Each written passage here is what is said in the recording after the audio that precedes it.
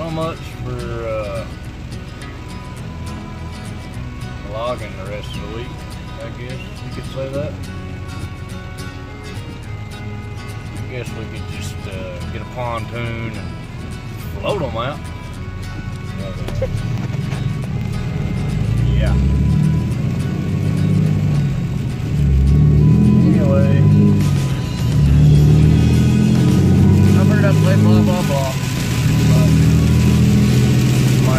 driving.